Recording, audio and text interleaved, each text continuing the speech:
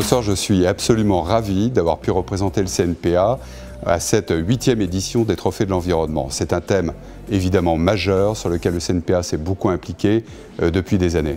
Ce qui me fait particulièrement plaisir ce soir, c'est d'avoir vu 200 chefs d'entreprise et leurs représentants se retrouver.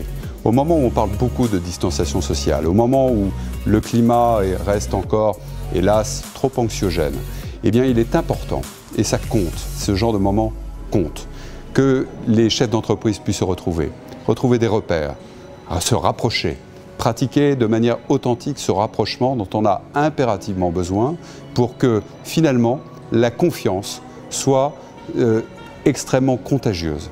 C'est ça qui comptera et c'est ça qui changera la donne au cours des prochains mois qui seront probablement difficiles. Le pessimisme, c'est une question d'humeur. L'optimisme, en revanche, c'est une question de volonté. L'automobile n'en manque pas, elle ne manque pas de résilience, elle ne manque pas de projet, et elle a les hommes et les femmes qui comptent pour aller de l'avant et transcender toutes ces difficultés. Ce soir, nous sommes au huitième trophée de l'environnement. Si j'avais écouté tout ce que tout le monde m'a dit, on ne l'aurait jamais fait.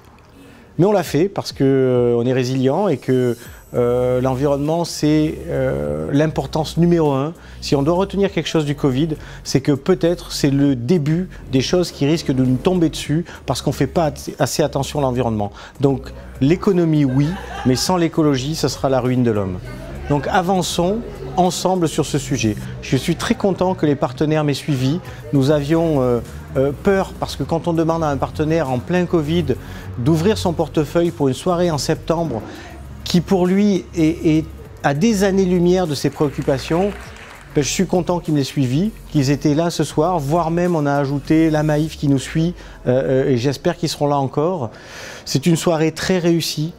Beaucoup de gens se sont déplacés, des marques, euh, des responsables euh, environnement de groupes, des garages, euh, des institutionnels pour la réussite de cette soirée. Je pense qu'ils pensent un peu comme moi que sans l'environnement, rien ne pourra se faire pour le redémarrage de l'économie. Ce soir, PSA a été récompensé conjointement avec Renault pour le prix du projet qui est venu en fait récompenser les initiatives solidaires qui ont eu lieu pendant le Covid.